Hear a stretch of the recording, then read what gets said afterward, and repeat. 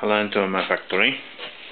This is my 6R12 milling machine and this is prepared for test run and what I done before um, all of this uh, units was removed before for um, overhaul I exchanged pile of bearings all of these bearings there and there was get a coolant and in this way bearing was gone um, I make a cover from the rag what saves uh, uh, ways from flying chips in that direction. Um, I paint machine it's a salad green. I like it. Um, gearbox is from another machine and I rent it on time for test this machine. And this is an original gearbox and I not yet um, finish it repair. Um, I must uh, to exchange the bearings fix another problems and then that feed gearbox I mount back on the machine. So um, now I want to run it. Um, so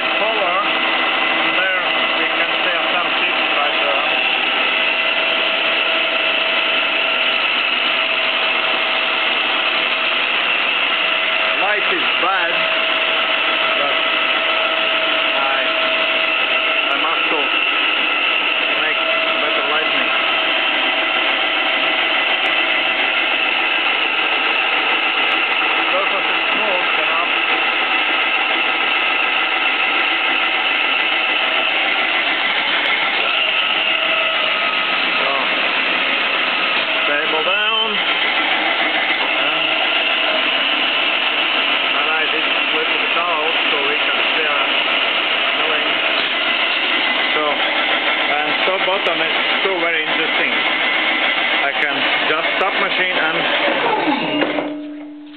and stop by and spindle stop by brake.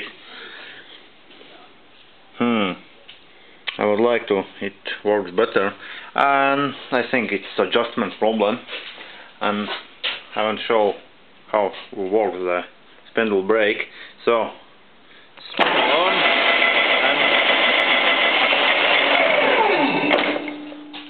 so it works uh, great so what else what else? Um, um, backside cover are not painted because because it's looks okay and engine are not painted because uh, thick um, thick layer of paint uh, can damage the engine because it's overheat and burn down. So so so so